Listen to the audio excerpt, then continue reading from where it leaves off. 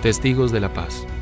Iniciamos un nuevo peregrinar, haciéndonos hermanos y compañeros de camino de nuestros hermanos africanos, para que vivan su fe, dando testimonio profético de reconciliación, de justicia y paz, imitando a Jesús misericordioso.